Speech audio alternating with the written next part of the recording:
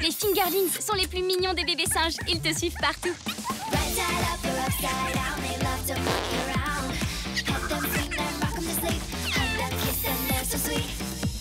Les Fingerlings, tes nouveaux amis au bout de tes doigts.